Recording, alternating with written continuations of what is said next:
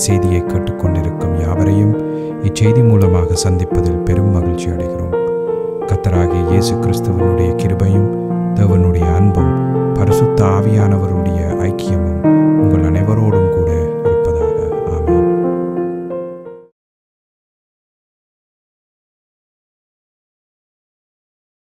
நான் இவாஞ்சலிஸ்ட் போல் பாலபாஸ்கரன் சிலுவையின் செய்தி என்ற இந்த நிகழ்ச்சியில் என் சகோதரர்கள் என் சகோதரிகள் என் நண்பர்கள் எல்லோரையும் மறுபடியும் சந்திப்பதில் நான் பெரும் மகிழ்ச்சி அடைகிறேன்.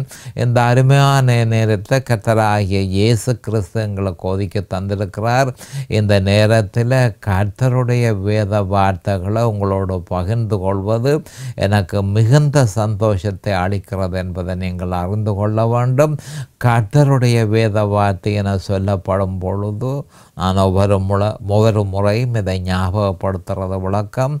கர்த்தருடைய வார்த்தை நான் சொல்லப்படும் பொழுதோ அது எந்த காலத்திலும் சிலுவையில் அறையப்பட்ட இயேசு கிறிஸ்துவையே பிரகடனப்படுத்துகிறதான்ற உண்மையை நாம் தெளிவாக அறிந்து அதை உணர்ந்து அதை நம்முடைய இருதயத்தில் உறுதியாக நிலநாட்டி அதனை இடவிடாமல் விசுவாசித்து அதன் பலாபலன்கள் அதன் தாற்பயங்கள் எல்லாவற்றையும் முற்று முழுதுமாக அனுபவிக்க வேணும் என்றதே தேவனுடைய எதிர்பார்ப்பாக இருக்கிறது. அப்போ கர்த்தருடைய வார்த்தை என சொல்லப்படும் பொழுது அது தேவனுடைய வாயிலிருந்து புறப்படுகிற வார்த்தையே கர்த்தருடைய வார்த்தை எனப்படும். அப்போ ஆதியாகமம் ஒன்று ஒன்றிலிருந்து வெளி இருபத்தி ரெண்டு இருபத்தி ஒன்று வரையும் சொல்லப்பட்டிருக்கும் சகல வேத வாக்கியங்களும் கர்த்தருடைய வார்த்தை எனப்படும். அப்போ இது அவருடைய வாயிலிருந்து வெளிப்பட்ட வார்த்தைகள் அந்த வார்த்தையினால தான் மனுஷன் பிழைப்பான் என்று சொல்லி தெளிவாக சொல்லப்பட்டிருக்கிறது. நாம் இப்பொழுது வேத வார்த்தைக்கு போவோம். டோமர் எட்டு ஏழு. டோமர் எட்டு ஏழு. எப்படி என்றால் மாம்ச சிந்தை தேவனுக்கு விரோதமான பகை. அது தேவனுடைய நியாய பிரமாணத்துக்கு கீழ்ப்படியாமலும் கீழ்ப்படிய கூடாமலும் இருக்கிறது. அப்போ மூன்று மிக முக்கியமான விஷயங்களை இந்த வேத வாக்கியத்தில் நாம் காணக்கூடியதாக இருக்கிறது முதலாவதாக மாம்ச சிந்தை தேவனுக்கு விரோதமான பகை அப்போ என்ன சொல்லப்பட்டிருக்கிறது அதாவது கிறிஸ்துவின் சிலுவை நம்முடைய விசுவாசத்தின் குறிக்கோளாக இல்லாவிட்டால் அது மாம்ச சிந்தை அந்த மாம்ச சிந்தை தேவனுக்கு விரோதமான பகை அது தேவனுடைய நியாய பிரமாணத்துக்கு கீழ்ப்படியாது. அதனால் கீழ்ப்படிய கூடாமலும் இருக்கிறது என்று சொல்லி தெளிவாக பரிசுத்த ஆவியானவர் பவுல் அப்போஸ்தலர் மூலம் சொல்லியிருக்கிறார். அப்போ இதற்கு நான் தெரிந்து கொண்ட தலையங்கம் மாம்ச சிந்த தேவனுக்கு விரோதமான பகை. நாம் இப்பொழுது ஜபத்திற்கு கடந்து செல்லுவோம். அருமையான எங்கள் பிதாவே உமக்கு சோஸ்திரம் பரலோகத்தின் தேவனே உமக்கு சோஸ்திரம் உம்முடைய குமாரன் ஜேசு கிறிஸ்துவை பலியாக சிலுவையில் ஒப்பு கொடுத்து அவருடைய வெளியேறப்பெற்ற இரத்தத்தினால் தவறீர் நீரங்கள் எல்லோரையும் மீட்டு கொண்டதற்காக சோஸ்திரம் இந்த நேரத்தில் இந்த வேத வார்த்தைகளை கேட்டுக்கொண்டிருக்கிற என் சகோதர சகோதரிகள் நண்பர்கள் எல்லோரையும் தேவரீர் ஆசீர்வதித்து அபிஷேகித்து உம்முடைய வேத வார்த்தைகளை அறிந்து கொள்ளக்கூடிய பாக்கியத்தை அவர்களுக்கு கொடுத்தருள வேணுமென்றும் அதே நேரம் அடியேனையும் அபிஷேகித்து அவர்களுக்கு நிதானமான முறையில் போதிக்கத்தக்கதாக உம்முடைய பரிசுத்த ஆவியானவர் தாமே முன்னின்று போதனையை செய்ய வேணுமென்றும் இயேசு கிறிஸ்துவின் நாமத்தினால் கேட்டுக்கொள்கிறேன் பிதாவே. Amen and amen and amen.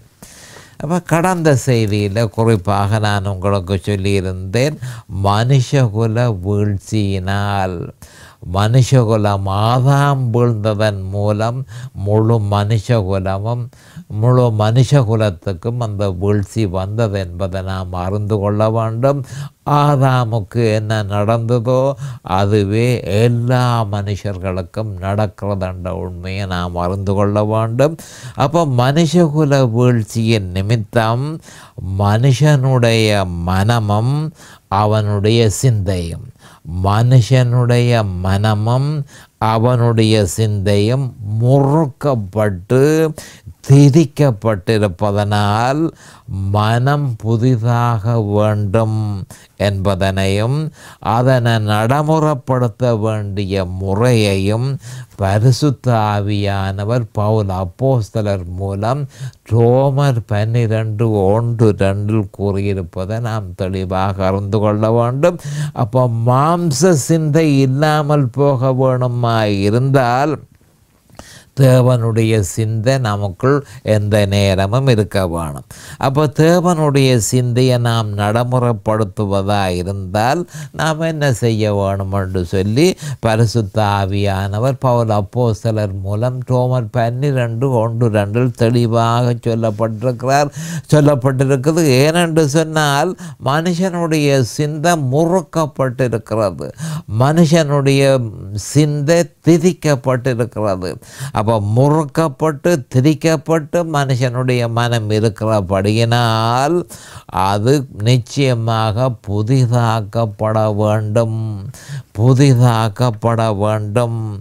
அப்போ ரோமர் பன்னிரெண்டு ஒன்று ரெண்டில் அது எப்படி புதிதாக்குறதுன்ற விவரம் தெளிவாக சொல்லப்பட்டிருக்கு. கவனமாக கேளுங்கள். ரோமர் பன்னிரெண்டு ஒன்று ரெண்டு. அப்படி இருக்க சகோதரரே நீங்கள் உங்களை பாருக்கு சொல்லப்படுகிறது கிறிஸ்தவர்களுக்கே சொல்லப்படுகிறது. சகோதரரே நீங்கள் உங்கள் சரீரங்களை பரிசுத்தமும் நீங்கள் உங்கள் சரீரங்களை பரிசுத்தமும் தேவனுக்கு பிரியமுமான ஜீவ பலியாக ஒப்பு கொடுக்க வேண்டுமென்று தேவனுடைய இரக்கங்களை முன்னிட்டு உங்களை வேண்டிக் கொள்கிறேன் இதுவே நீங்கள் செய்யத்தக்க புத்தியுள்ள ஆராதனை. நீங்கள் இந்த பிரபஞ்சத்திற்கு ஒத்த வேஷம் தெரியாமல் தெரியாமல் தேவனுடைய நன்மையும் பிரியமும் பரிபூரணமுமான சித்தம் இன்னதென்று பகுத்தறியத்தக்கதாக உங்கள் மனம் புதிதாகிறதுனாலே மறுரூபமாகுங்கள். திருப்பி மறுபடியும் வாசிக்கிறேன். அப்படி இருக்க சகோதரரே நீங்கள் உங்கள் சரீரங்களை பரிசுத்தமும் தேவனுக்கு பிரியமுமான ஜீவ பலியாக ஒப்பு கொடுக்க வேண்டுமென்று தேவனுடைய இரக்கங்களை முன்னிட்டு உங்களை வேண்டிக் கொள்கிறேன். இதுவே நீங்கள் செய்யத்தக்க புத்தி உள்ள ஆராதனை. நீங்கள் இந்த பிர பிரபஞ்சத்திற்கொத்த வேஷம் தெரியாமல் தேவனுடைய நன்மையும் பிரியமும் பரிபூரணமுமான சித்தம் என்னதென்று பகுத்தறியத்தக்கதாக உங்கள் மனம் புதிதாகிறதுனாலே மறுரூபமாகுங்கள் என்று சொல்லப்பட்டிருக்கிறது. அப்போ வேத வாக்கியம் இப்படி சொல்லப்பட்டிருக்கு. என்ன மாதிரி சொல்லியிருக்கிறது? மறுரூபமாகுங்கள் என்று தெளிவாக சொல்லியிருக்கிறது. அப்போ இப்படி சொல்லியிருக்கத்தக்கதாக சில கிறிஸ்தவர்கள் விசுவாசியினுடைய மனம் புதிதாக்கப்பட வேண்டியதில்லை. அவர்கள் டட்சிக்கப்பட்டிருக்கிறார்கள் அவர்கள் பரிசுத்த ஆவிக்குள் ஞான ஸ்நானம் பெற்றிருக்கிறார்கள். அவர்கள் புது சிருஷ்டியாக இருக்கிறார்கள். ஆகையால் என்ன பலப்படுத்துகிற கிறிஸ்துவினாலே எல்லாவற்றையும் செய்ய எனக்கு பலனுண்டு. என பிலிப்பியர் நாலு பதிமூன்றில் சொல்லப்பட்டத வேத வாக்கியத்தை சொல்லி பல கிறிஸ்தவர்கள் பலத்த சத்தமாக ஆர்ப்பரிப்பதுண்டு. மறுபிறப்பு அதாவது மறுபிறப்பு பட்டிருக்கிறபடியினால் இனி புதிதாக்கப்பட வேண்டிய அவசியம் இல்லை என்று சொல்லி அவர்கள் சொல்லுகிறார்கள். அப்போ அப்படியாயின் பௌலப்போ சிலர் எதற்காக நீங்கள் இந்த பிரபஞ்சத்துக்கு ஒத்த வேஷம் தெரியாமல் தேவனுடைய நன்மையும் பிரியமும் பரிபூரணமுமான சித்தம் என்னதென்று பகுத்தறியத்தக்கதாக உங்கள் மனம் புதிதாகிறதுனாலே மறுரூபமாகுங்கள் என கூறியிருக்கிறார் என்பதை நாம் சிந்திக்க வேண்டியவர்களாக இருக்கிறோம்.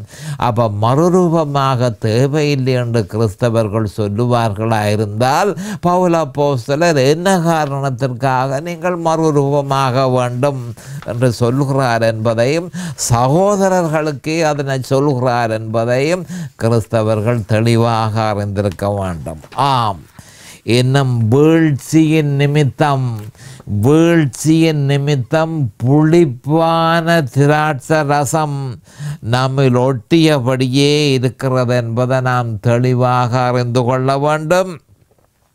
ஒன்று தெசலோனிக்கு இதை அஞ்சு இருபத்தி மூன்று இதை பற்றி தெளிவாக சொல்கிறது. அடுத்ததாக பாவம் அந்த பாவம் விசுவாசியிலிருந்து அகற்றப்படவில்லை.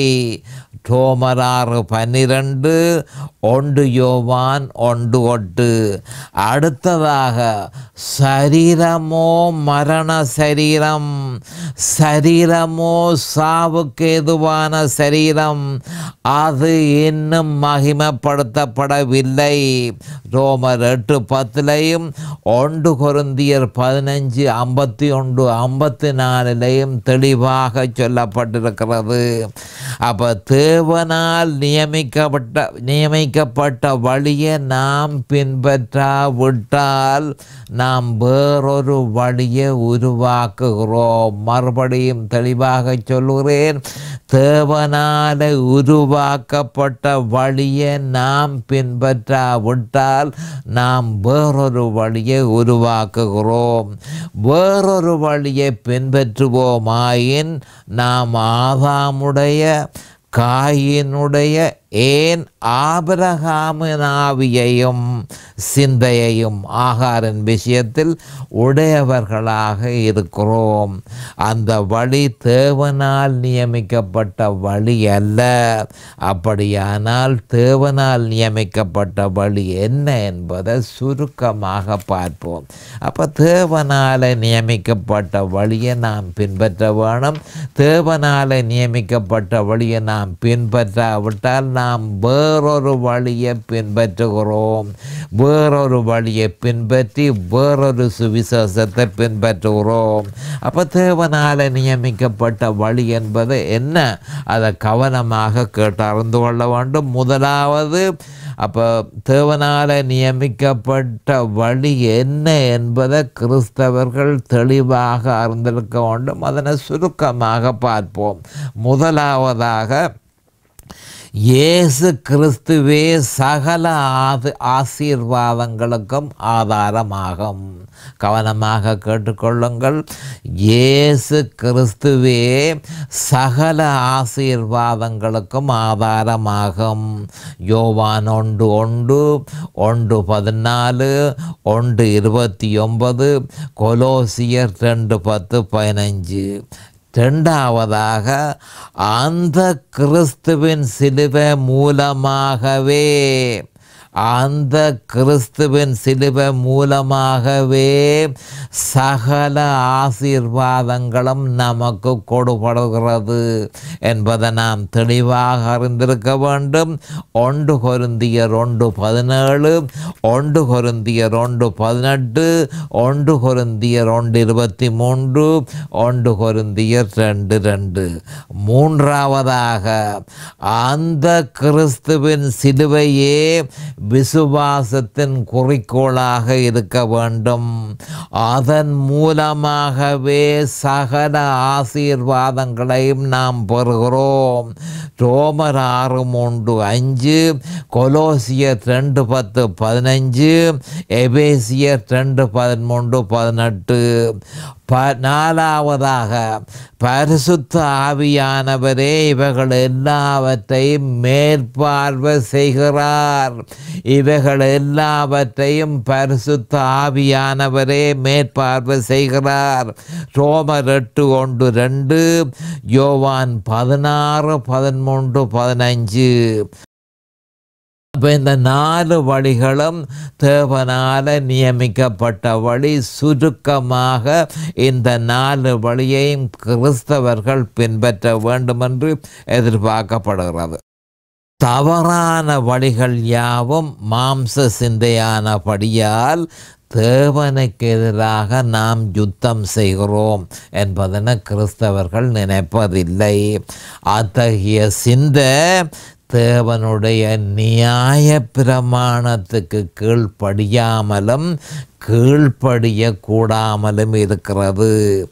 தேவனால் நியமிக்கப்பட்ட வழியை விட்டு விலகியவுடன் இந்த துர்ப்பாக்கியமான நிலைமை நமக்கு ஏற்படுகிறது. அது எப்படியெனில் தேவன் ஒரு தெய்வீக வழிமுறையை நமக்கு நியமித்திருக்கிறார்.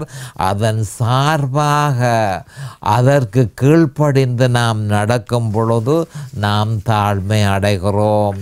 அதனை விட்டு விலகியவுடன் இயற்கையான பெருமை நம்மை ஆட்கொள்வதனால் சுயநீதி விருத்தியடைந்து தேவனுக்கு எதிரான சிந்தை உண்டாகி கலகக்காரர்களாக மாறி தேவனுடைய நியாய பிரமாணத்துக்கு கீழ்ப்படியாமலும் கீழ்ப்படிய கூடாமலும் இருக்கிறது இருக்க நேரிடுகிறது என்பதனை நாம் தெளிவாக அறிந்து கொள்ள வேண்டும்.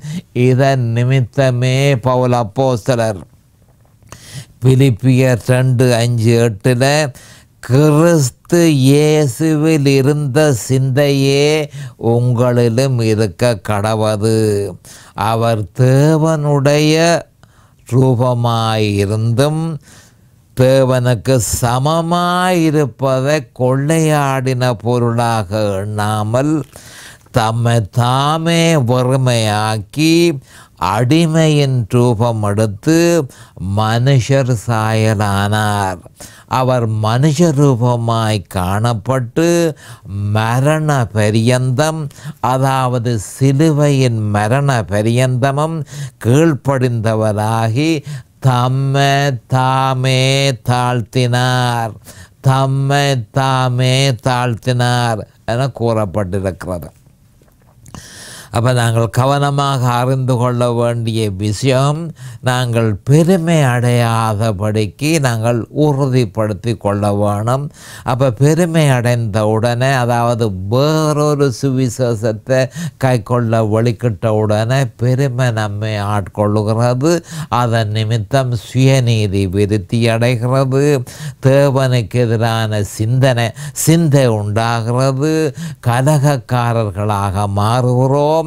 தேவனுடைய நியாய பிரமாணத்துக்கு கீழ்ப்படியாமல் இருக்கிறோம். கீழ்ப்படிய கூடாமலும் இருக்க நேரிடுகிறது என்ற உண்மையை நாம் தெளிவாக அறி அறிந்து கொள்ள வேண்டும். இப்படி இருக்க தேவனுடைய நியாய பிரமாணம் என்பது என்ன? கவனமாக கேட்டுக்கொள்ளுங்கள்.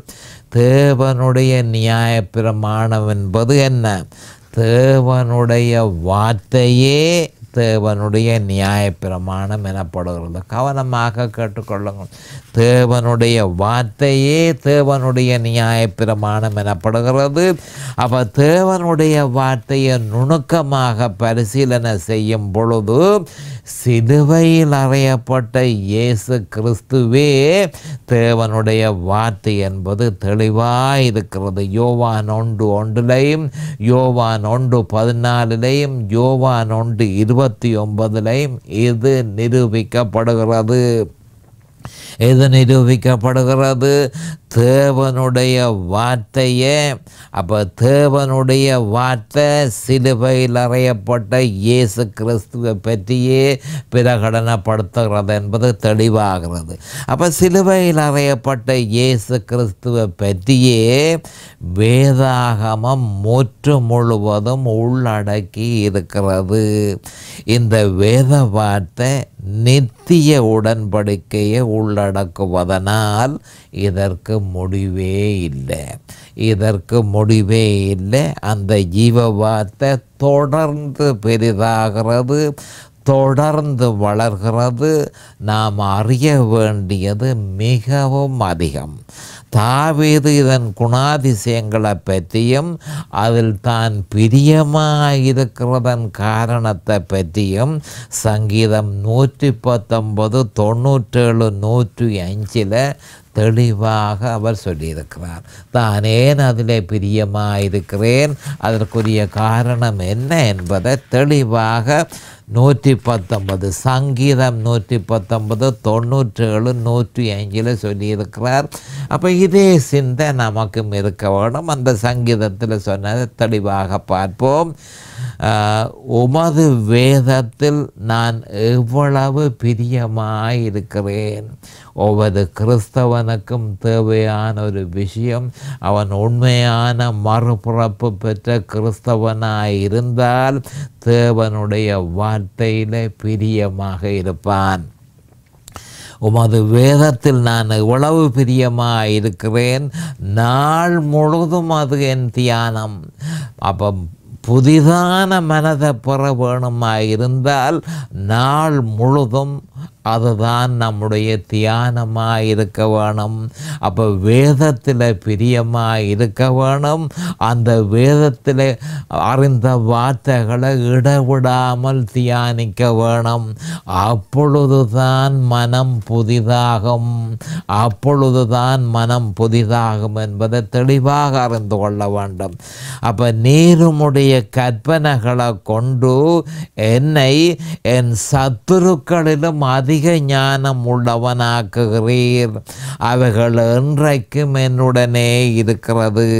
உம்முடைய சாட்சிகள் என் தியானமாய் இருக்கிறபடியால் எனக்கு போதித்தவர்கள் எல்லாரிலும் அறிவுள்ளவனாய் இருக்கிறேன் உம்முடைய கட்டளைகளை நான் கை கொண்டிருக்கிறபடியினால் முதியோர்களை பார்க்கலும் ஞானம் உள்ளவனாய் இருக்கிறேன் உம்முடைய வசனத்தை நான் காத்து நடக்கும்படிக்கு சகல பொல்லாத வழிகள் சகல பொல்லாத வழிகளுக்கும் என் கால்களை விளக்குகிறேன். அப்படி உம்முடைய வசனம் தானோ? உம்முடைய வசனம் தானோ? என்று நான் உறுதிப்படுத்துகிறது வழக்கம்.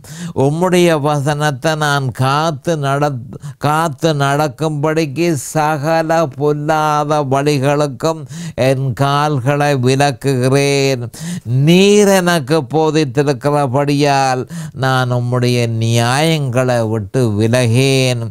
உம்முடைய வார்த்தைகள் என் நாவுக்கு எவ்வளவு இனிமையானவைகள்.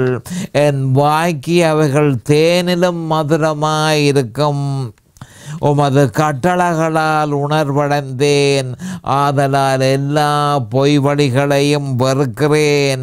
உம்முடைய வசனம் என் கால்களுக்கு தீபமும் என் பாதைக்கு வெளிச்சமுமாய் இருக்கிறது அப்போ கவனமாக சில வசனங்களை நான் உங்களுக்கு போதிக்க வேண்டியதாக இருக்கு உம்முடைய வார்த்தைகள் என் நாவுக்கு எவ்வளவு இனிமையானவைகள். அப்போ வேதத்தில் பிரியமாக இருந்தால் அந்த வேதத்தில் இருக்கிற ஒவ்வொரு வார்த்தையையும் அறியும் பொழுது அது நம்முடைய வாய்க்கு நம்முடைய நாவுக்கு அவைகள் இனிமையாக இருக்கும் என்பதை தெளிவாக அறிந்து கொள்ள வேண்டும். என் வாய்க்கு அவைகள் தேனிலும் மதுரமாக இருக்கும் தேனோடு ஒப்பிட்டு பார்க்கும் பொழுது உம்முடைய வார்த்தை எவ்வளவு இனிமையாயிருக்கிறது. உமது கட்டளைகளால் உணர்வடைந்தேன்.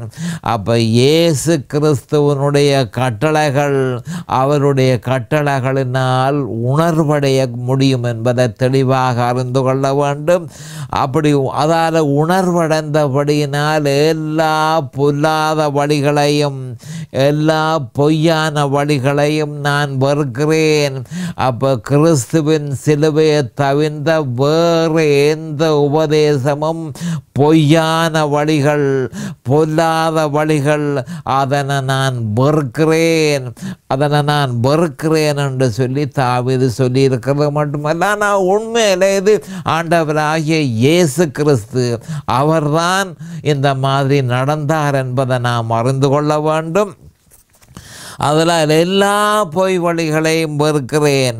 உம்முடைய வசனம் என் கால்களுக்கு தீபமும் என் பாதைக்கு வெளிச்சமுமாக இருக்கிறது என்று சொல்லி சொல்லப்பட்டிருக்கிறது. அப்போ இது ஆரை பற்றி சொல்கிறது என்றால் உண்மையில் இயேசு கிறிஸ்து இந்த பூலோகத்துக்கு வந்து இந்த மாதிரியாகத்தான் அவர் நடப்பார் என்பதை தாவீது தீர்க்க தரிசனமாக ஏற்கனவே சொல்லியிருக்கிறான்.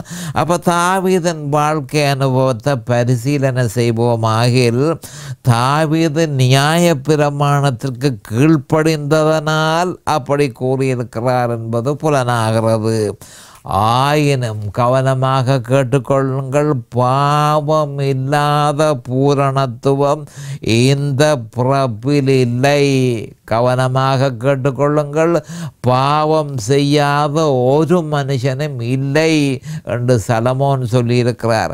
அப்போ நான் என்ன சொல்கிறேன் என்று சொல்லிக்க இந்த பூலோகத்தில் நாங்கள் இருக்கும் தனையும் ஒரு பொழுதும் நாங்கள் பாவம் செய்ய மாட்டோம் என்ற பேச்சுக்கே இடமில்லை.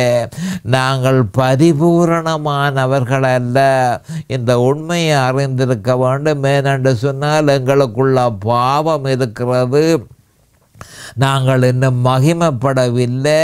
அடுத்தது எங்களுடைய சரீரம் செத்த சரீரமாக இருக்கிறது மரண சரீரமாக இருக்கிறது. அப்போ கர்த்தருடைய வார்த்தைக்கு ஏற்றபடி நடக்கக்கூடிய தென்பு நடக்கக்கூடிய பலம் பரிசுத்த ஆவியானவரால் நடத்தப்படாவிட்டால் நமக்கு இல்லை என்பதை நாம் தெளிவாக அறிந்து கொள்ள வேண்டும். ஆனபடியால் பாவம் செய்யக்கூடிய சாத்தியக்கூறு நிச்சயமாக ஒவ்வொரு கிறிஸ்தவனுக்கும் உண்டு என்பதை நாம் தெளிவாக ஏற்றுக்கொள்ள வேண்டும். நாம் பெர்ஃபெக்டான மனுஷர்கள் என்று சில கிறிஸ்தவ சபைகளில் இருக்கிற கிறிஸ்தவர்கள் தங்களை பெருமிதமாக சொல்லிக் கொள்கிறார்கள். ஆனால் அவர்கள் சற்று தங்களை பின்னோக்கி பார்ப்பார்களாக இருந்தால் எவ்வளவு பாவச் செயல்களிலே அவர்கள் ஈடுபட்டிருக்கிறார்கள் ஈடுபட்டிருந்தார்கள் என்பதை அவர்கள் அறிந்து கொள்ள முடியும். அப்போ ரட்சிக்கப்பட்ட பிறகு நினைவால் சிந்தனைகளாலே எத்தனை பா எத்தனை பாவ செயல்களை அவர்கள் செய்திருப்பார்கள். அப்படி இருக்க நாங்கள் பெர்ஃபெக்டான மனுஷர் என்று சொல்கிறது வந்து ஒரு வேத வார்த்தைக்கு ஒத்து வராத ஒரு விஷயம் என்பதை நாம் மறந்து கொள்ள வேண்டும். நாம் பெர்ஃபெக்டாக ஒரு பொழுதும் இருக்க முடியாது. ஆனால் பெர்ஃபெக்டாக ஆக்குவது தான் பரிசுத்த ஆவியானவருடைய வேலை. அவர் தொடர்ந்து அதனை செய்து கொண்டிருக்கிறார்.